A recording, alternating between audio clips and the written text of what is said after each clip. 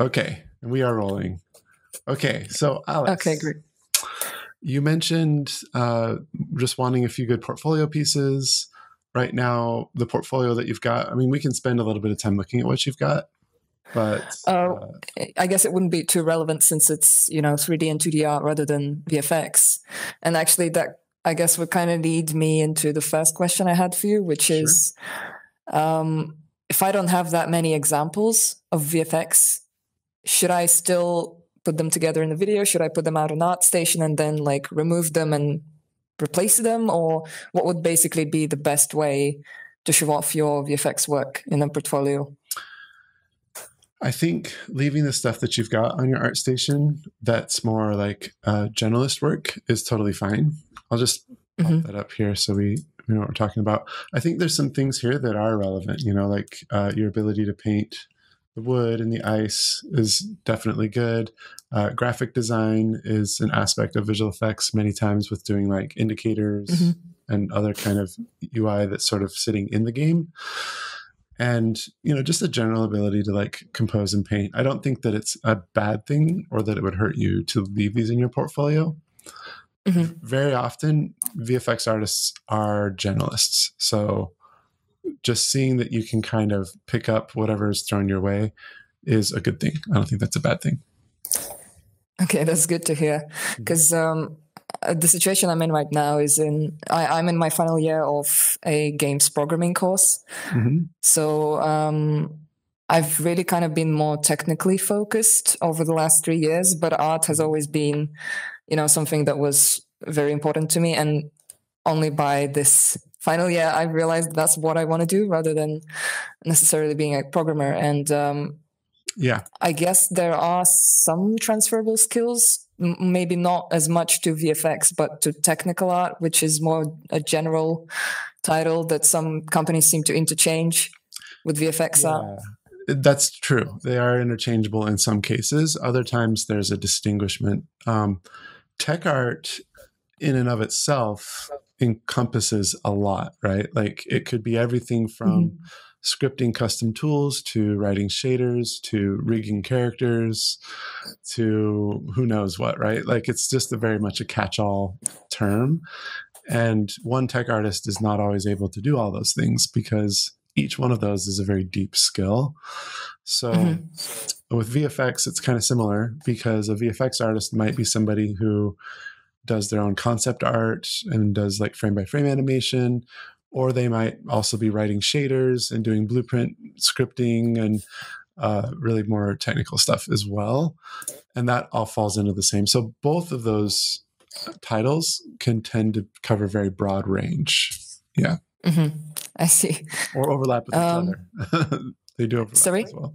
Oh yeah.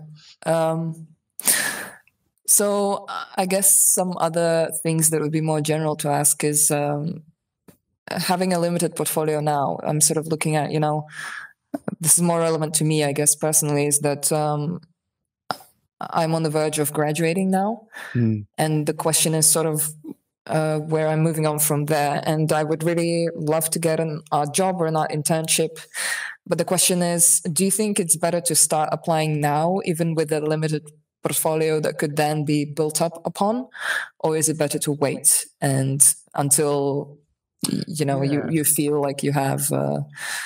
Well, I saw um, saw on your Twitter you had you had a piece like a really nice uh, materials piece, right?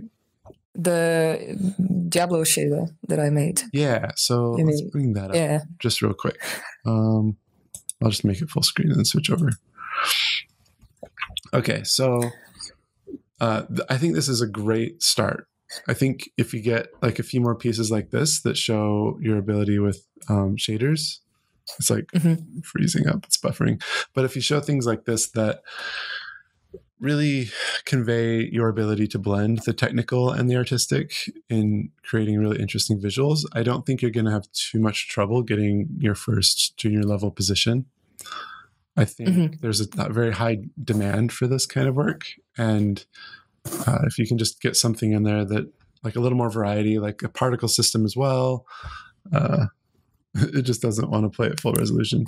But yeah, the, the the goal is not necessarily to have a massive portfolio per se, but to have a few pieces that shine, right? So Mm-hmm. if you go through the class, like there's probably some lessons in here that would be most applicable to you.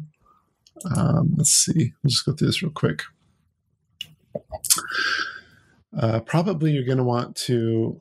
You're more familiar with Unity, right? I saw Um, yeah, definitely. Yeah. the Unity logo here on the card, and so I'm like assuming that these are like Unity projects, right?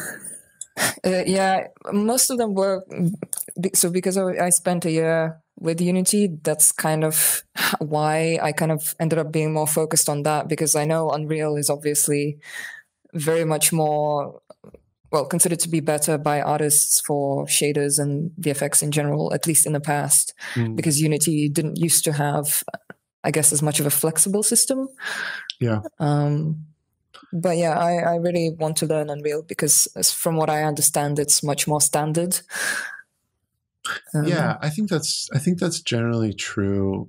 You get more mileage in trying to create an impressive visual effects portfolio in Unreal, whereas with Mhm. Unity you probably get more mileage doing your own indie project and just trying to get something kit bashed together and out the door just for the fun of making the whole pipeline front to back.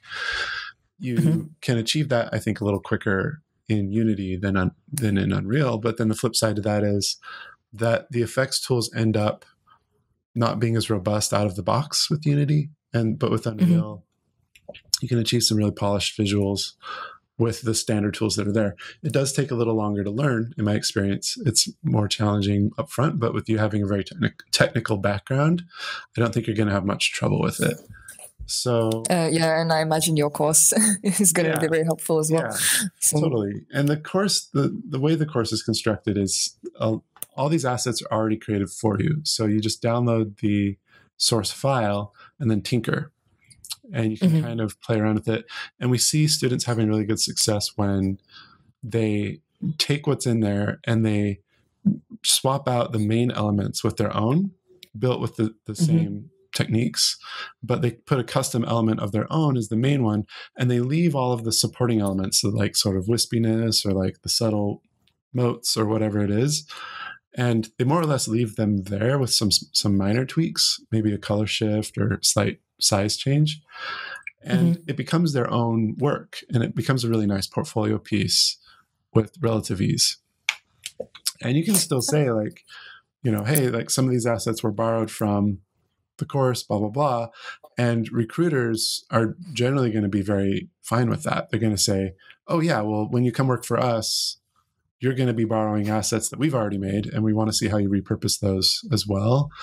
Um, Mhm. As long as the assets that you're creating from scratch also carry their own weight in the effect and they drive the show, sort of, so that you can't tell that it's the same effect as what's in the class. Does that make sense? Like you've changed enough Yeah. that it, it now it's different.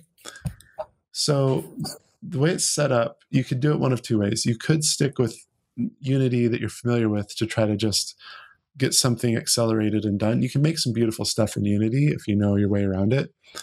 Mhm. And and you can just do the Unity lessons and skip the Unreal lessons, or you could do vice versa, where you could say, okay, I want to dive deep in Unreal over the next couple months and get something done there.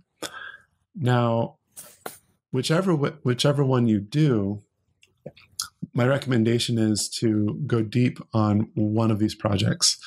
So, like Mhm. each project has like a texture section, and then an Unreal section and a Unity section, and then on to the next. Right? Like the Goo has, uh, you know, textures and meshes and Maya, and then Unreal, and then Unity. So you're for sure going to want to do the texture portion to like create that custom element.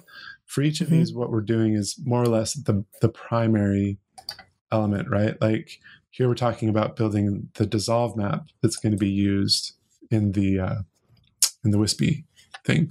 So doing your own dissolve map right? And then swapping that out with the main dissolve map that's in there and doing Mhm. something really custom. If if that's the one that you're getting ideas for that's great also soon i'm going to be posting um, more student work but in the forum i've posted some of it it's not uh, complete But if you go to the forum, uh, let's see, student showcase right here, you can kind of start getting ideas of how people have sort of riffed on it and mm-hmm. done a variety of things. If we go further down. So, like, you know, they'll recolor the wispy one or they'll change the shapes or something like that. You know, here's like a nice green recolor, some mm-hmm. shapes there, and, and things like that, where they're getting really creative with it and um, trying something else. The the part that I haven't started posting is the actual videos of the 3D work that they're doing. Um, but there's a lot of examples there as well that uh, that you'll be able to check out for inspiration. But you kind of get the idea, like how you might modify what's in the class to make it your own, and that way you can mm-hmm. get a mm-hmm. really fun, interesting portfolio piece that is going to impress a recruiter and an art team without actually starting from absolute scratch with with nothing.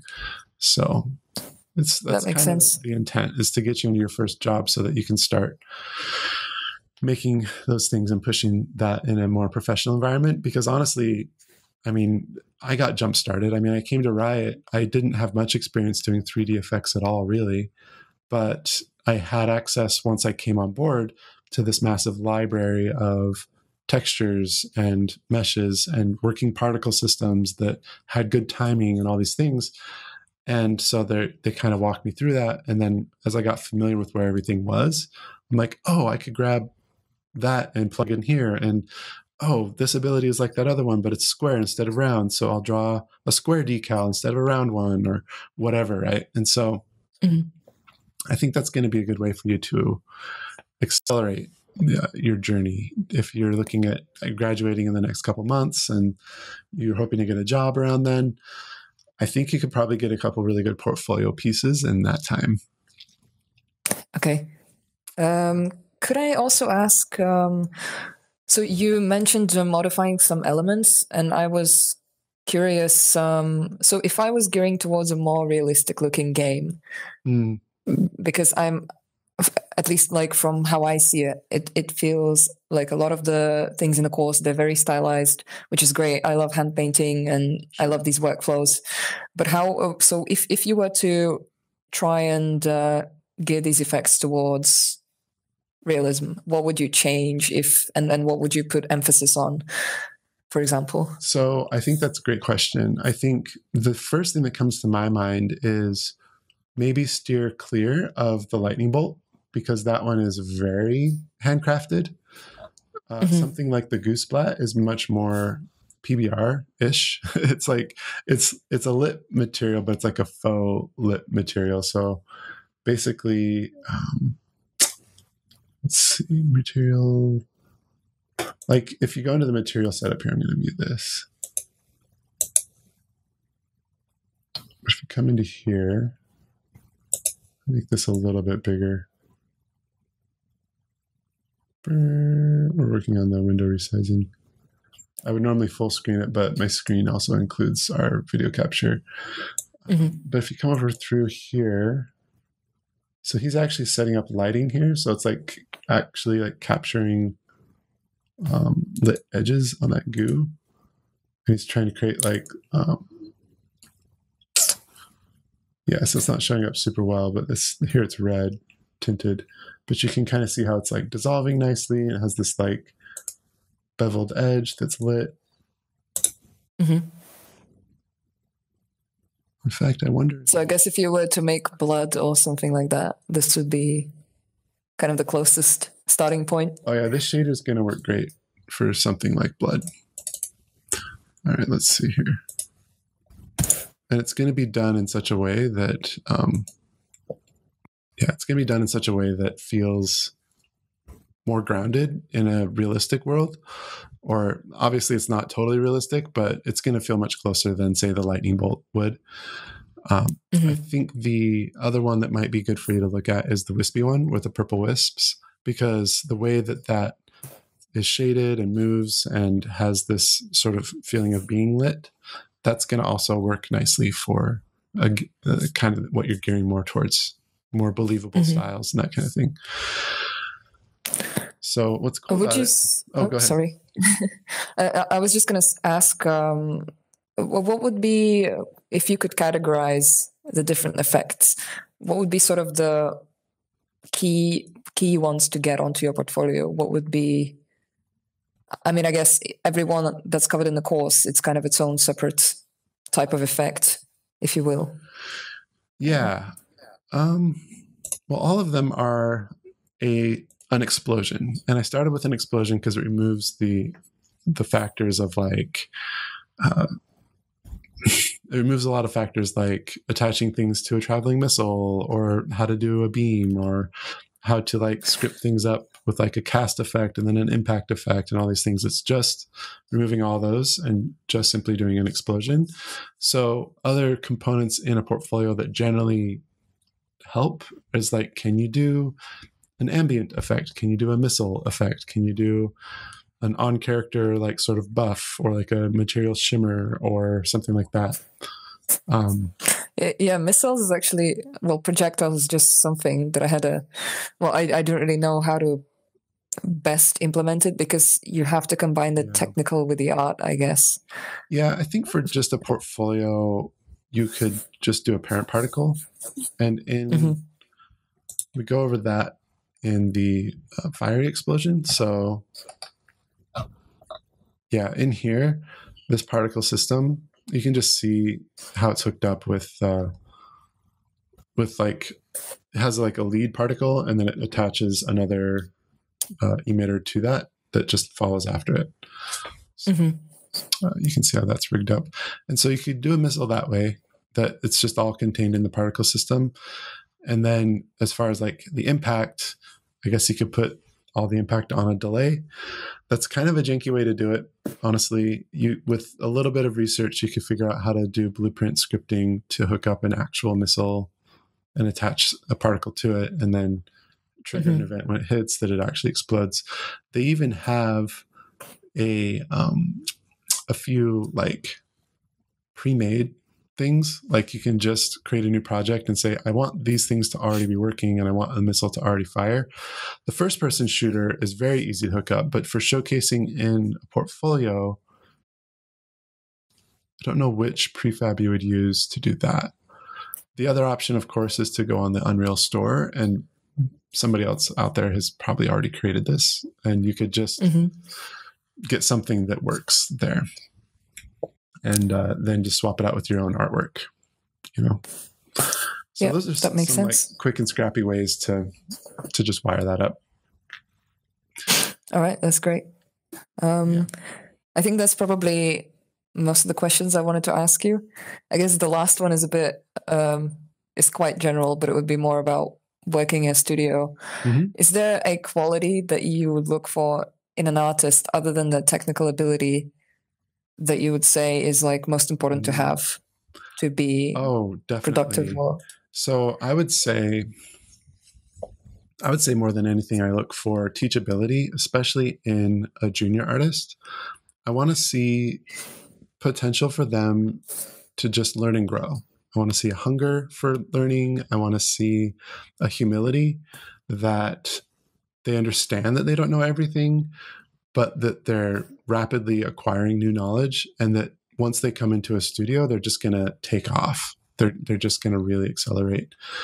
So, because a junior artist, you're not going to know it all. You're not going to be there already.